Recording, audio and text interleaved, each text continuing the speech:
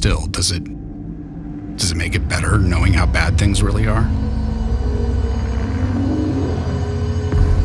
The suit keeps out what you need to be afraid of. Only the fear's trapped in there with you and it's thriving. So yeah, maybe you're safe and dry. But inside you're drowning.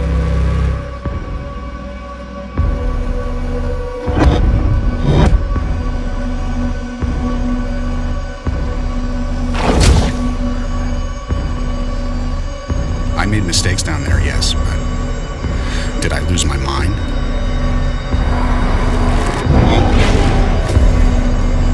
No.